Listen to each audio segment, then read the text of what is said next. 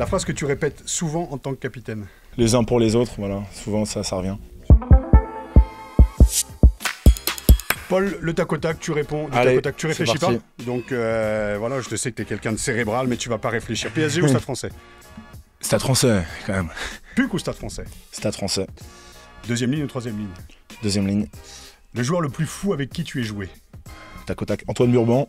Très bien. Le joueur le plus Jib, talentueux. Jib, Jib Camara Jib aussi. Camara. Ouais, Bubu et Djibou. Ok. Euh, le joueur le plus talentueux contre qui tu es joué? Mackenzie, nouvelle- 10 de la Nouvelle-Zélande. Ok. 10 ou 15.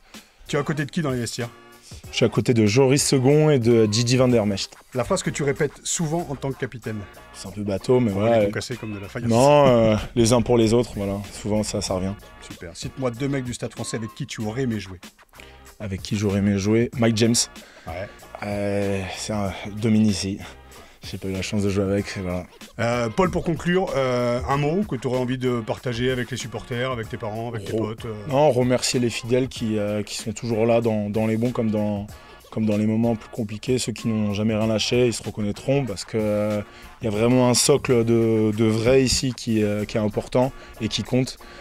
Donc euh, les remercier d'être toujours là et on, aura- on, va, avoir, on va avoir besoin d'eux pour, pour cette fin de saison. On va avoir euh, énormément besoin d'eux d'ailleurs. Donc euh, voilà, tous ensemble euh, pour aller chercher un truc euh, incroyable. Super. Merci beaucoup, Paul. Merci. Au plaisir. Et n'oubliez pas, éteignez vos GSM, regardez par la fenêtre, la vie est belle. Ciao. Voilà C'est bon Ça va?